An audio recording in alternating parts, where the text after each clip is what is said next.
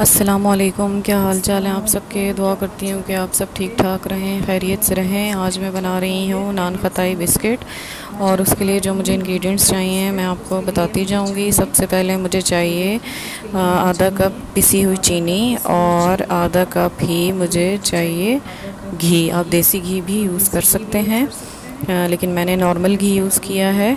अब हम क्या करेंगे कि हम चीनी में इसको घी को मिक्स कर लेंगे। आप स्पून की मदद से भी कर सकते हैं, लेकिन मैं हाथ से मिक्स करूँगी। ये देखें मैं हाथ से अब इसको मिक्स करने लगी हूँ। मैंने घी डाला चीनी में एंड मैं अभी इसको अच्छे तरीके से हाथ से मिक्स करूँगी।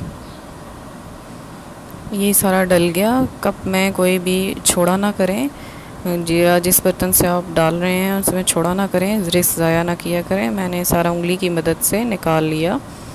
और अब मैं इसको क्या करूँगी कि अब मैं इसको चीनी में अच्छे तरीके से मिक्स करूँगी।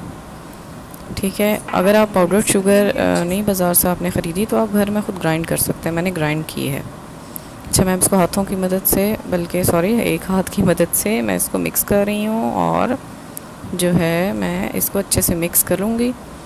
जब ये अच्छे से मिक्स हो जाएगा तो फिर मैं इसमें डालूँगी डेढ़ कप मैदा और एक चम्मच उसके मिल्क पाउडर के। तो ये देखिए मैं अच्छे से मिक्स कर रही हूँ। मेरे हाथ पे स्टिक हो गया है तो मैं वो बोल के साथ जो है वो लगा रही हूँ उतार रही हूँ अपनी उंगलियों से ताकि कोई ज़ाया ना हो। लेकिन फिर भी ज़ाहिर है बेकिंग कुकिंग करते हुए कुछ हाथ से नीचे गिर जाता है तो स्लैब पे मुझसे भी गिर गया। तो मैसी तो हो जाता है लेकिन ज़ाहिर है कुकिंग बेकिंग में इतना तो मैस होता ही है।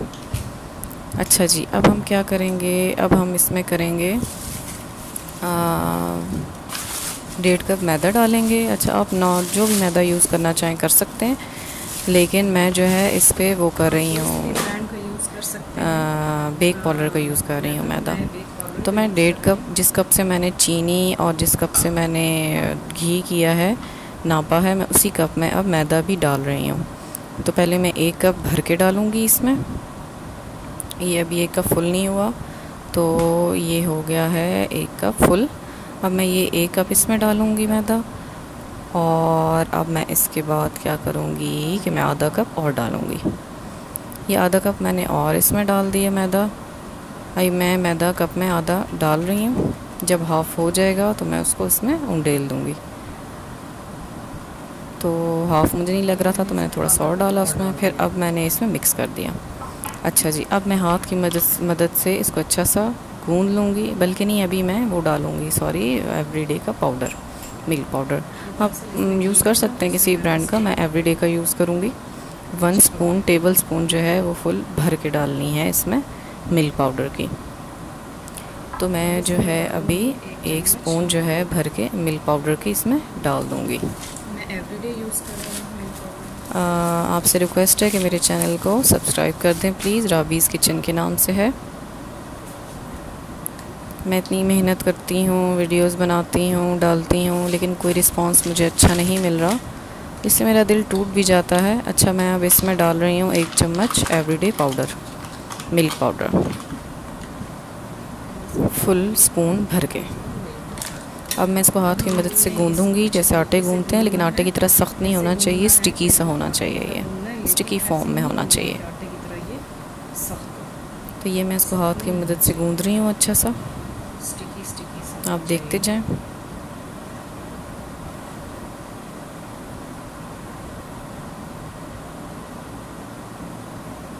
इंशाल्लाह ये बहुत अच्छे बनेंगे।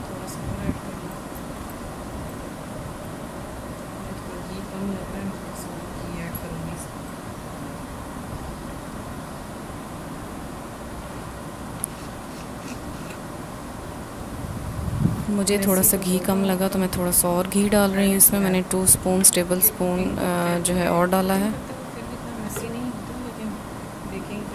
तो मैं फिर इसको गूंद रही हूँ।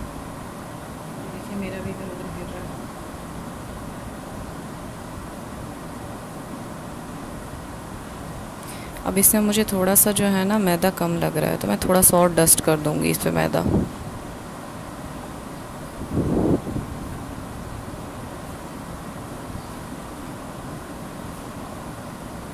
अच्छा सा गूंद लें, ताकि बिल्कुल स्मूथ सा बन जाए ये।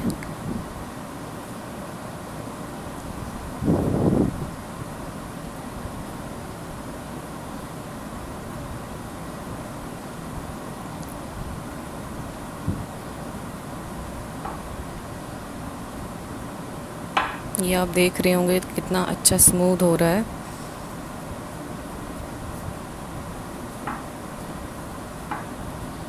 ये देखें कितनी अच्छी फॉर्म में आ गया ये।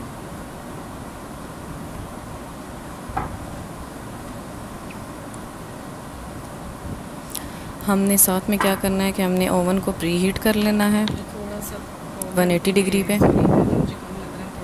ये अभी मुझे मैदा कम लग रहा था तो मैं थोड़ा सा और ऊपर डस्ट करूँगी मैदा।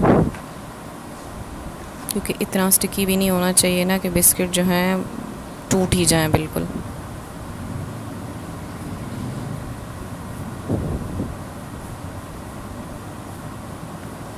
अच्छा सा मैं मिक्स कर लूँगी।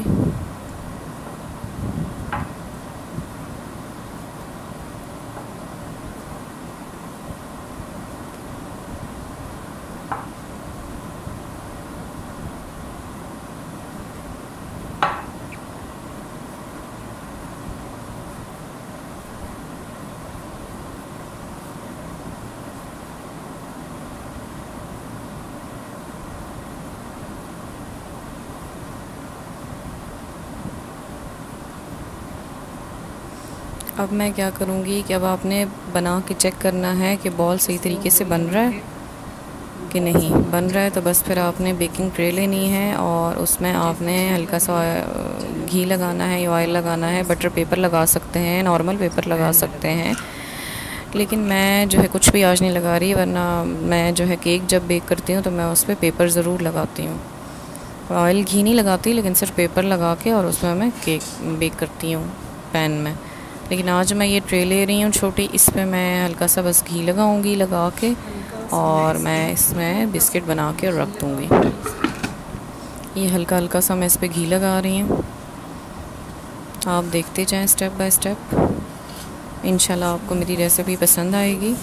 प्लीज़ मुझे फ़ीडबैक दीजिएगा कि कैसे आपके भी बने। आप भी ट्राई कीजिएगा देन मुझे फ़ीडबैक दीजिएगा कि आपके भी कैसे बिस्किट बने।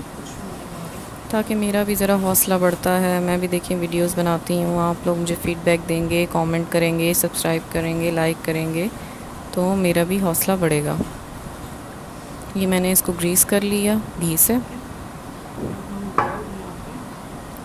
अब मैं बॉल बनाऊँगी। आप पतला भी बना सकते हैं नान खताई मोटा भी बना सकते हैं। मैंने नॉर्मली बनाया है मतलब ना पतला, ना मोटा, बहुत नॉर्मल शेप का। इसको दोनों हाथों की मदद से बॉल बनाऊँगी। बॉल बना के फिर मैं इसको हल्का सा प्रेस करूँगी। प्रेस करके मैं इसको पैन में रख दूँगी। ये देखिए, मैं बॉल बना रही हूँ पहले। अब मैं इसको प्रेस करूँगी। प्रेस करके मैं इस पर पैन पे इसको लगा रख दूँगी। साथ में आपने आपने क्या करना है कि ओवन को भी प्री हीट करना है।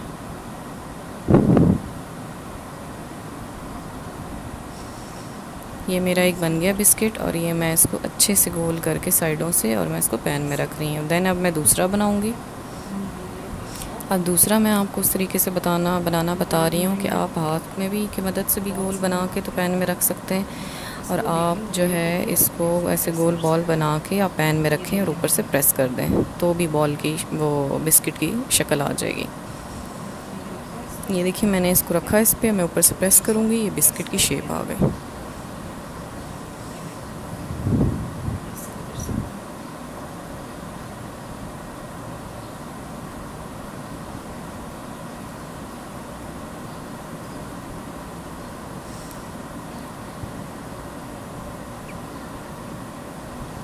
ये देखते जाएँ। ये थर्ड बिस्किट मैं बना रही हूँ। मैंने बॉल बनाई प्रेस किया और मैं इसको पैन में रख रही हूँ। देन अब थोड़ी सी जगह बची है, इसलिए मैं क्या करूँगी? छोटा सा बॉल बनाऊँगी, छोटा सा बिस्किट बनाऊँगी। और जो बाकी बैटर बचा है, आप उसको पहले ये फ़ोर बिस्किट्स बनाएँ। अगर आप इतना ही पैन छोटा है तो फ़ोर बिस्किट्स बनाएँ देन आप और बना लें। लेकिन अगर आपके पास बड़ा है ट्रे है, बड़ी है तो आप उसमें, या बड़ा बर्तन है, आप उसमें सारे बिस्किट बना के एक ही वक्त में रख सकते हैं। मैंने छोटा सा बिस्किट बनाया, अब इसमें 180 डिग्री पे मैंने प्री हीट किया है ओवन को। मैं उसमें इसको 15 से 20 मिनट या 20 से 25 मिनट के लिए बेक करूँगी। इंशाल्लाह बहुत अच्छे बिस्किट बनेंगे। अच्छा मैं लास्ट स्टेप इसमें करना भूल गई, लेकिन मैं आपको बता रही हूँ कि आपने कंडा लेना है, उसको फेंटना है और उसको ब्रश की मदद से इन बिस्किट के ऊपर आपने लगा देना है अंडे को। उससे क्या होगा कि जैसे नान खताई पे ऊपर येलो सा कलर होता है ना, वो आ जाएगा। अच्छा सा। वो मैं करना भूल गई, लेकिन मैंने बाद में कर लिया था, लेकिन वीडियो में मैं नहीं कर सकी। तो आपने वो करना है। आप बादाम डालना चाहते हैं, हल्के सॉइल में उसको फ्राई करें। आप बादाम भी डाल सकते हैं। मेरे बच्चे पसंद नहीं करते तो मैंने नहीं डाले। और आपने इसको बेक कर लेना है पंद्रह से बीस मिनट पे या बीस से पच्चीस मिनट पे वन एटी डिग्री पे। देखते रहिएगा साथ साथ अपना ख्याल रखिएगा। दाव में याद रखिएगा। अल्लाह हाफिज़।